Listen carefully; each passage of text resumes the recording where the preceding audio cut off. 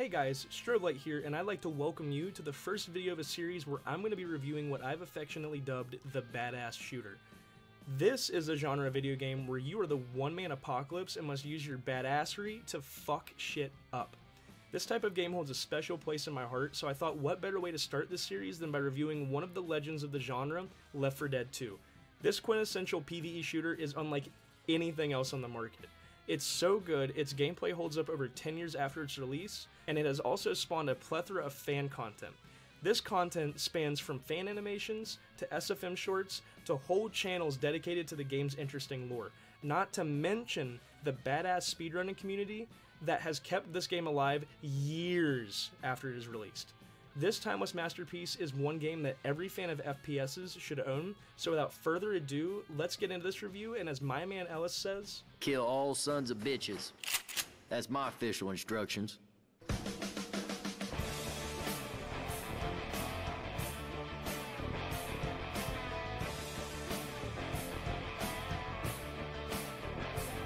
Now, following the release and commercial success of Left 4 Dead just one year prior, Valve realized that there was a lucrative market in making zombies games. This made them eager to make another one as soon as humanly possible.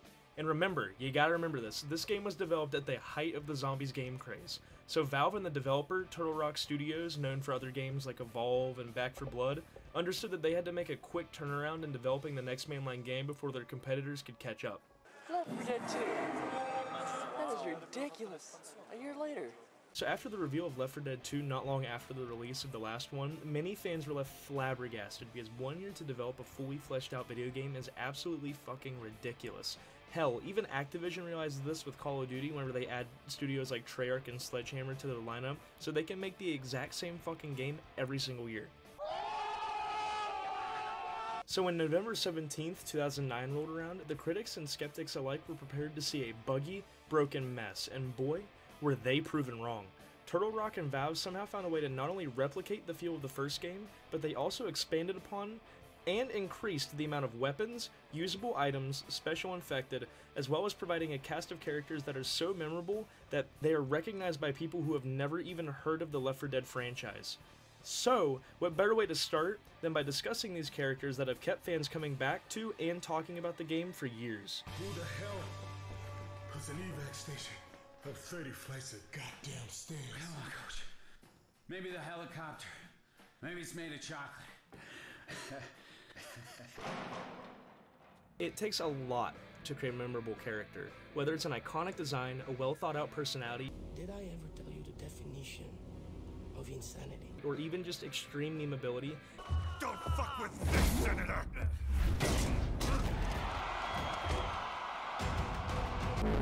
It is a hard as hell task that not many games can pull off effectively. Left 4 Dead 2, on the other hand, handles this amazingly, as simplicity is the name of the game here. Instead of creating heroes that have shoehorned personality traits to try and make them likable, the Left 4 Dead survivors are designed to be like your average everyday person trying to survive the apocalypse. Coach is a high school football coach who is kind of like the father figure of the group, whose presence alone is enough to keep the group anchored together.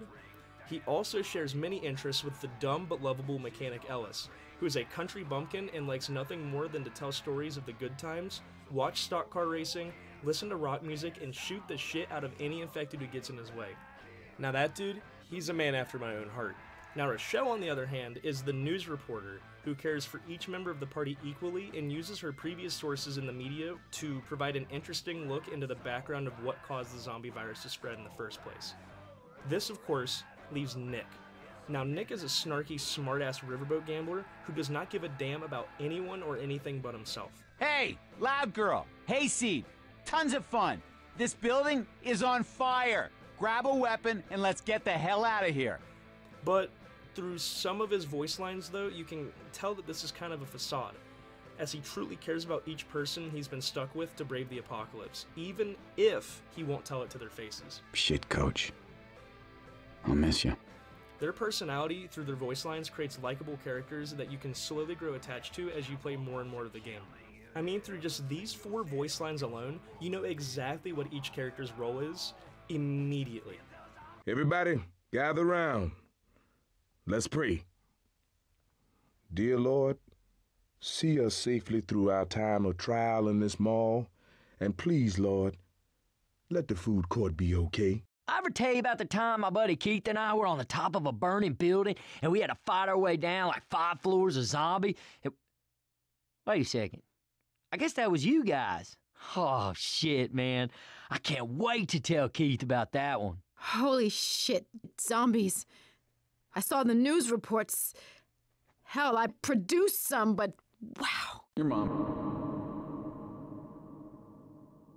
This is even more spectacular whenever you consider that Left 4 Dead 1 had Bill the Grizzled Vet, Francis, who hates everything, Zoe, the woman, and Lewis, the pill popping office worker. All of these guys are extremely likable and provide a decent amount of comedic relief to contrast with the dark and depressing environment of each and every map. When things go back to normal, Zoe, Bill, I'm giving you both jobs. Francis, I'm gonna teach your ass how to read. In fact, the first game in the series is so beloved due in part to these expertly created characters that Valve added the entirety of the first game into Left 4 Dead 2 and even added in a free DLC later that had the paths of the two sets of characters collide. The only complaint I do have is that Rochelle isn't quite as memorable as the other seven characters available within the game. Her full set of dialogue wasn't even tapped until the Last Stand update in 2020.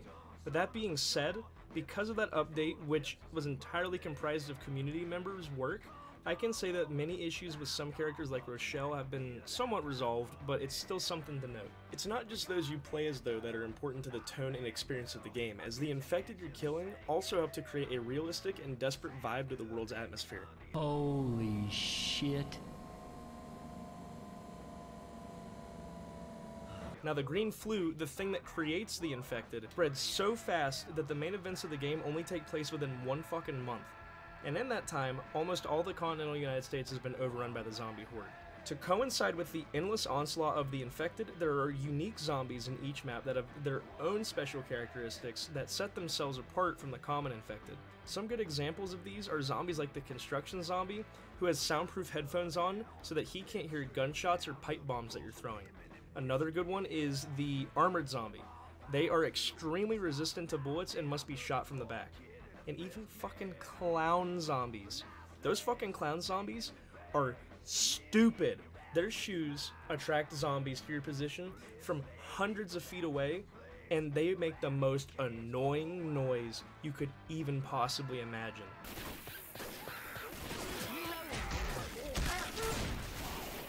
Also, when I say the flu is rapidly mutating, I mean it. It mutates so fast that it can rewire the host's body to produce more of a certain chemical or modify their appearance beyond belief.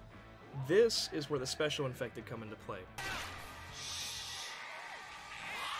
This is some grim shit we got ourselves into. Each of the special infected can be identified through extremely different designs from the rest of the zombies, and the sounds they make are equally haunting.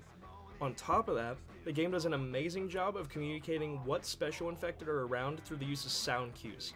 Each of the special infected also provide a new element to the gaming experience as their abilities can completely change the course of a level in mere seconds.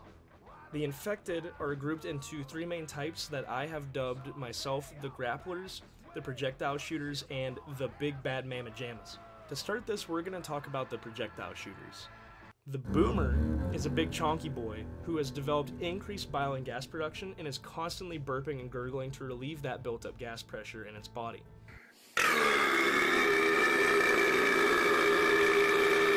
This leads to a satisfying popping effect whenever the boomer is shot.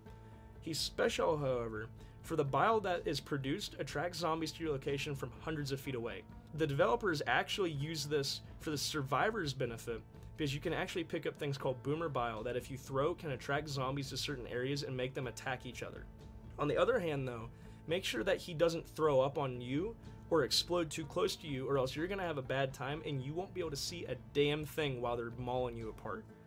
The next projectile based zombie is the Spitter, and I'm telling you right now, she is one ugly some bitch. She acts just like the Boomer in terms of projectile, except that she fires like a glob of a loogie that is composed mainly of stomach acid that will create a high damaging fluorescent green puddle whenever it's fired. And when killed, she will also leave a pool of acid in her wake. This can get very annoying, and I mean very fucking annoying, as it is a superb area denial tool that can constrict the playable area and block your path of progression.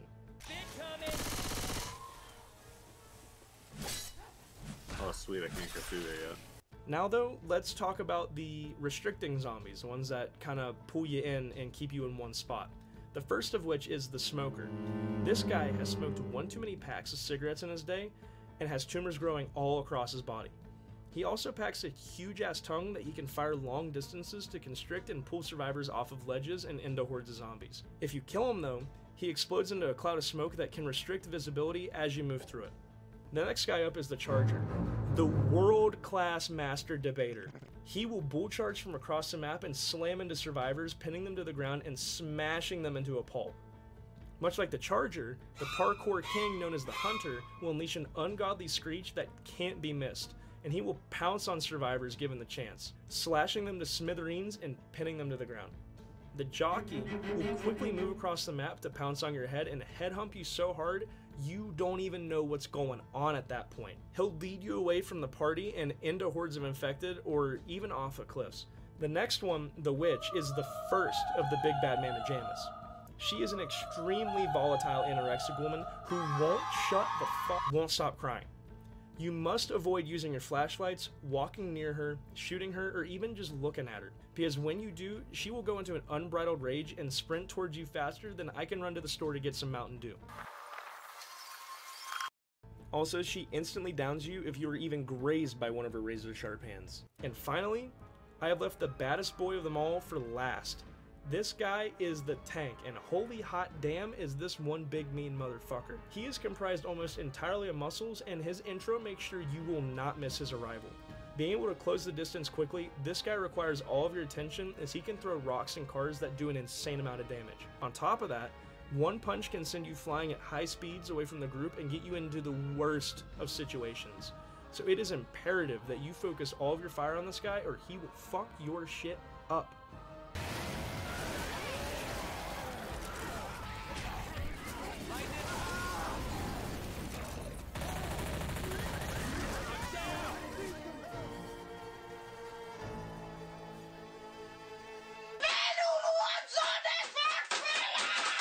On top of the infected, you're gonna have to navigate maps that will hold nothing back in trying to screw you over. We made it. I can't believe we made it. Son, we just crossed the street. Let's not throw a party till we're out of the city.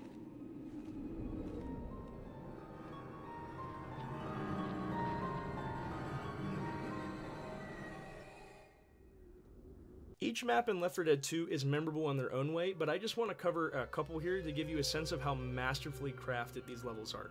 The first map, Dead Center, is the perfect starting point for the game, as it starts on the rooftop of a hotel that you must work your way down slowly. This map introduces you to each character in the main roster and sends you down a descending and tight claustrophobic hotel that is slowly burning down. The map design is also perfect because the flames, holy shit, it's so fucking. In all seriousness here, this level is the perfect intro. You go from a close quarters combat situation to the streets of the city where you slowly make your way down each winding road until you hit a gun store. The gun store is also a perfect introduction to almost every weapon that you can find in the game. This is also where the game introduces you to horde events that are completely unavoidable and are only initiated by you doing certain activities. And in the case of Dead Center, it's grabbing Whitaker, the gun store owner, a pack of cola so that he can fucking shoot an RPG at a gas tanker to explode it and clear your path. That's how I used to clear a path when I played college ball. Now that's badass. You then enter the mall where you must go through the vast open expanses, which are broken up by tight backroom areas. All of this culminating in the finale where you must work together to fill the stock car of Jimmy Gibbs Jr. Ooh. Ooh. No fucking way. Reloading. No fucking way. Jimmy Gibbs. Just to preface, that zombie only has like a 5% chance of spawning, and I've never seen it before, so I was fucking stoked to see that shit. This part can also get super hectic and always gets my heart pounding as you have to search for 18 million gas canisters to fill this damn Dynaco car up. Oh, Rochelle, Rochelle. Dude, Rochelle's kind of popping off. Dude, Rochelle's kind of Rochelle. popping off. Come, come on. No, what is she doing? no, no, no, it's okay, it's okay. Oh, she's resting. Okay. No, fuck! Oh my god, is that a tank? Yes! Oh my god. No. Just fucking go! Yes! Let's go! Let's go! oh my god, dude. The next map in line is also superb. The Dark Carnival, as it's titled, leads you through a local amusement park. Once you enter the park, there are plenty of cool side things to do, like a whack-a-mole machine or a strongman game.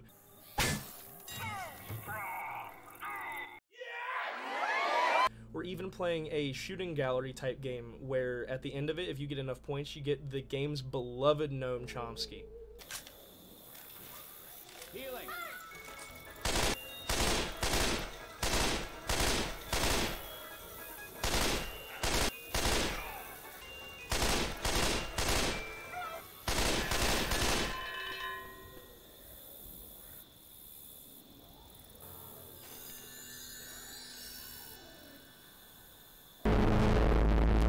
Actually really pissed about this one because I got the achievement with my buddies for carrying that thing all the way to the end of the level, but I wasn't fucking recording. And I'm not doing that shit again, so you're just gonna have to see the screenshot and take my word for it. Speaking of the end though, this level ends with Coach and Ellis realizing that the Midnight Riders, a fictional band that they both love, was playing in a concert before the infected arrive. So you actually use their concert stage to attract a helicopter flying through the area in order to escape the carnival. This leads to an absolutely awesome fight scene where rock music and fireworks are going off like crazy as you mow down hordes of zombies.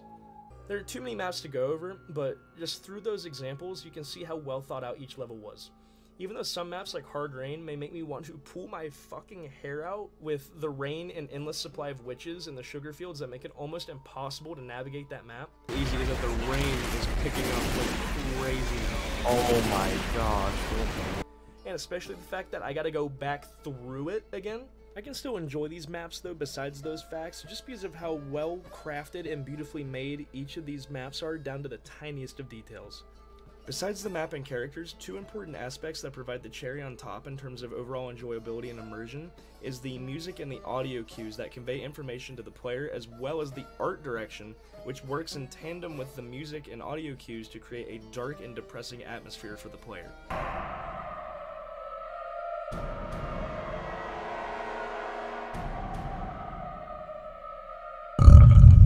Excuse me. God, that was Bless you. Oh, it's cute. Put that in the video now. Oh wait, here guys. I'm putting it in the video. Oh my god. The sound design in this game is immaculate.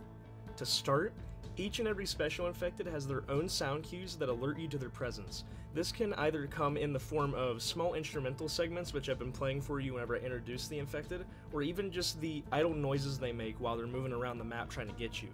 The horde music is also killer. It's fast paced and leaves no room to think, because your mind is scrambling trying to find either a holdable position or a pathway to cut through the hundreds of infected swarming towards you to get to the safe room.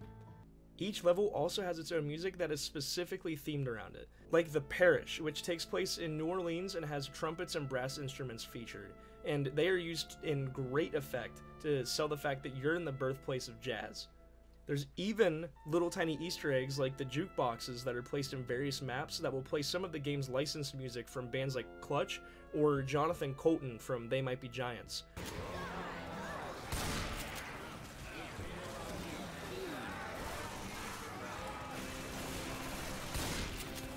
Another key component that sets Left 4 Dead 2 apart from its predecessors and counterparts is the gore factor.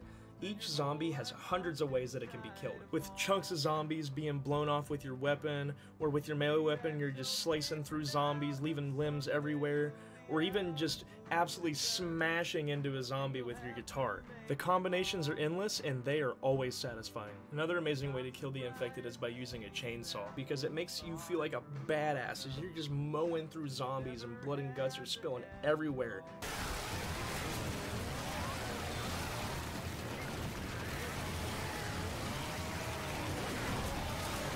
Rock and Valve also realized that if these maps stayed the same every time you played them, then the game would get stale quickly.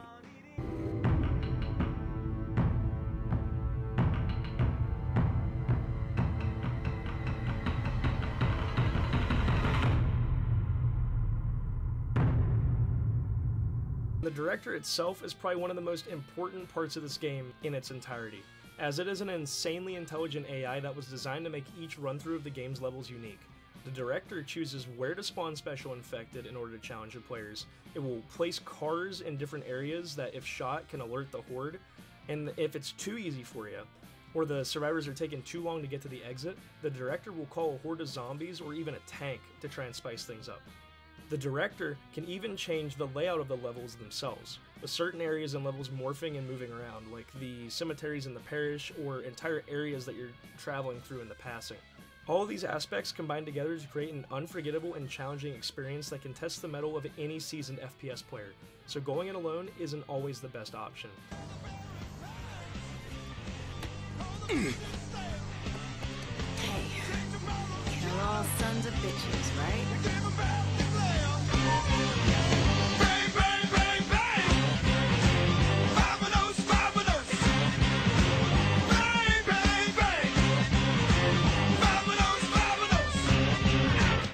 Dead 2 utilizes teamwork perfectly, as each member of your squad needs to work together in perfect harmony to make it through each zone of a level. If someone lags behind too far or even goes too far ahead, you best be damn sure that the director is going to spawn in a special infected to take them out. All of this is happening, by the way, while the rest of the team struggles to catch up or has to go backwards a big chunk away to try and help their teammate. Teamwork is also very important because you need to be there for one another, and things like hordes and zombies and special infected will put your teamwork skills to the test. This is because you must work together to do things like clear hordes or focus all your fire on a tank that is barreling towards you at light speeds. Of course, working with a teammate also adds the human element to the game. Everyone is unpredictable and will sometimes do questionable things that can turn an easy experience into absolute hell for you and the rest of your team. Remember those cars and witches I was talking about? All it takes is one person missing their shot or acting devious to put the survival of the party in danger. And if the party members are feeling extra dickish, they can even gun you down, as friendly fire does exist and it does a hell of a lot of damage if you're not paying attention. However, if working together properly, you feel unstoppable, as even the hordes of zombies running at you can be taken down with ease. This game also encourages working together, as you can heal your teammates with medkits or hand them pills and adrenaline shots to help heal them up. You can also revive your teammates with defibrillators if they die within the course of combat. Once again though, foul play is pretty common as there will be that one guy that uses all your medkits or will just run ahead and take the pills and adrenaline or anything of any use to anybody else in the party. All in all though, without your team it would be almost impossible to get through each level, and because of that, Valve has batted it out of the park with designing a game that requires you to work together in every conceivable aspect. This helps to create a timeless masterpiece that can be an entertaining party game for you and your buddies to boot up if you just want to turn your brains off and just shoot some zombies for fun. In conclusion, Left 4 Dead 2 is a prime example of what can be done right if a development team puts care and attention into every aspect of a co-op experience to maximize the fun and enjoyment for all parties involved. This game is also a testament to the fact that Valve just can't make a bad game, and Lord Gaben himself will ensure that until he retires to his hobbit hole in New Zealand. This game is a timeless classic and shows that even with time constraints, that a masterpiece can be developed and beloved by millions from around the world. With that being said, I'm gonna have to give this game a 9 out of 10. If it wasn't for abusable mechanics that can absolutely ruin a run if you had a bad teammate, or a better AI that can actually help you out if you go down, then this game would be a 10 out of 10, any day of the week, hands down. But these limitations hold the game back from its fullest potential. With that being said, if it wasn't for Left 4 Dead 2, I probably wouldn't have ever gotten interested in other zombie shooters, and I probably would have missed out on other great games like Dead Rising or Dead Space. So I'm very thankful that I got the chance to play this as a child, and I'm even more thankful that I've had the opportunity to sit here and share with you a game that I hold near and dear to my heart. And thank you for watching.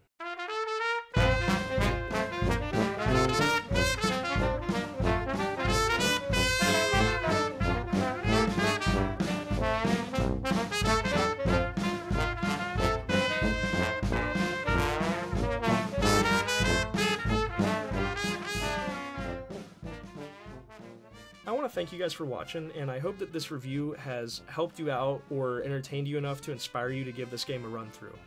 I also just want to let you guys know that this is definitely not the last of my reviews, and that there will be a new one coming out soon, hopefully within the next few weeks, and we will be covering one of the most infamous games to ever exist Duke Nukem forever.